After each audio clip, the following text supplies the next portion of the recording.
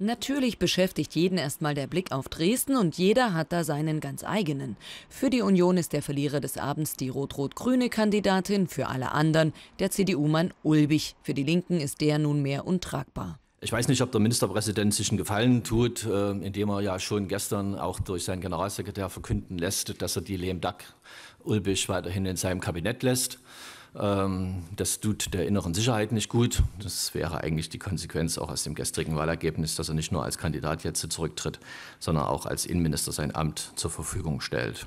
Die Union hält an Ulbich fest und plötzlich dann doch den FDP-Mann Hilbert für den geeigneten Kandidaten. Mit Eva Maria Stange riskiere man Chaos und Streit in der Stadt, verkündet der CDU-Generalsekretär und verblüfft so den Koalitionspartner. Ich habe den Eindruck, dass die CDU an der Stelle versucht, von dem, von dem Ergebnis auch abzulenken. Ähm, ich gebe zu, die Tonlage überrascht ein bisschen in ihrer Härte.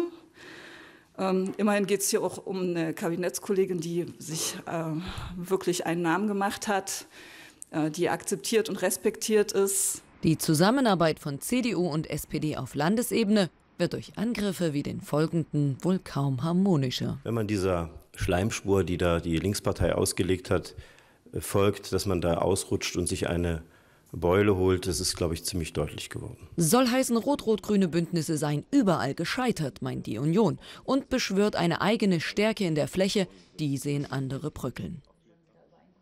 Dresden, Zwickau, Freiberg, Bautzen, Zittau.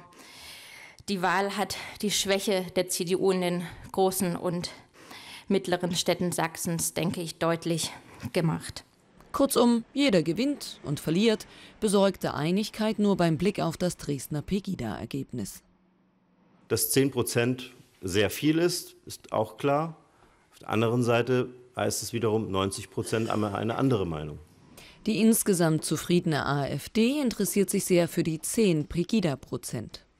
Wir werden auf alle Fälle sowohl als auch also wenn sie außerparlamentarisch bleiben, als auch wenn sie eine Partei gründen, mit Pegida versuchen, in einem Gespräch zu bleiben und zu gucken, wo wir uns gegenseitig äh, befruchten können.